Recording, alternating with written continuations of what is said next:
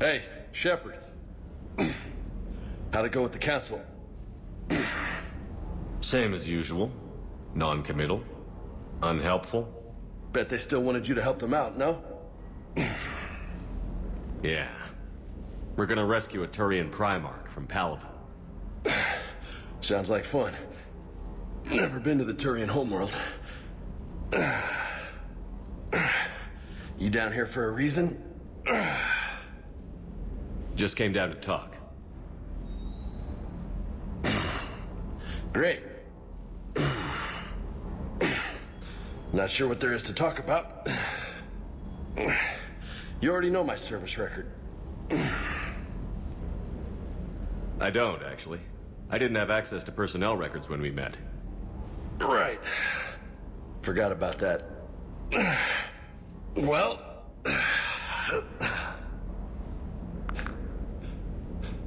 Think you can dance and talk at the same time? I think I can handle it. Okay, loco. Let's dance. Don't push your luck, Vega. With age comes wisdom. And rank.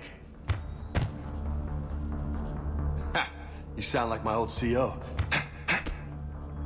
Oh yeah? And who was that? Captain Toni. He was a hard-ass son of a bitch, but a good leader. Was? Died. With most of my squad. Protecting a civilian colony from a collector attack. And the colony? It was either them, or the intel we had on the collectors. Intel we could have used to destroy them. I chose the intel. Sorry.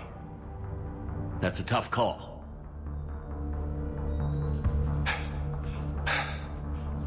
The best part was, we didn't really need the intel in the end.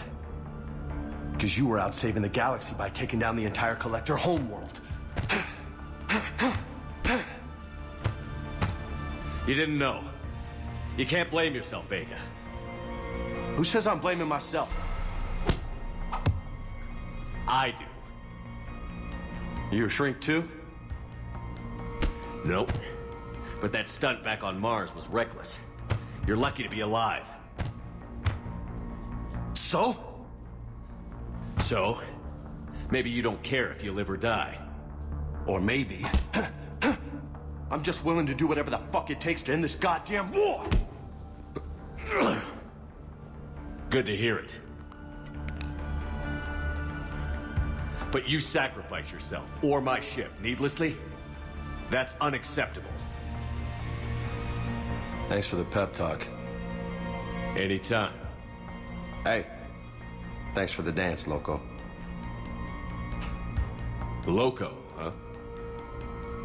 I can think of worse things to call you. As Long as you remember who's in charge, you can call me whatever you want. Oh, I won't forget.